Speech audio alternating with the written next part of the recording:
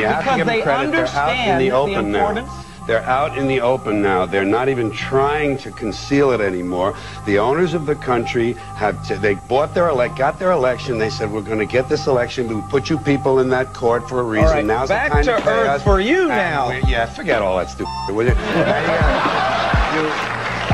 they're out in the open. There is they're open. no- They're openly driving the bus, and we're all in the back. There is no well, that was- there no national conspiracy to buy elections and control America.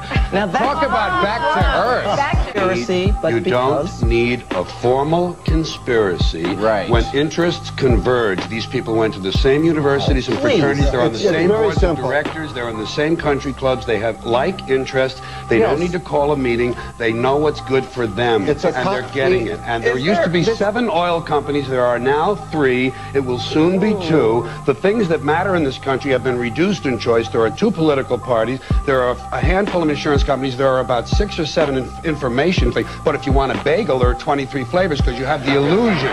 You have the illusion of choice. Right. You don't get the real important choice. There's no freedom of choice.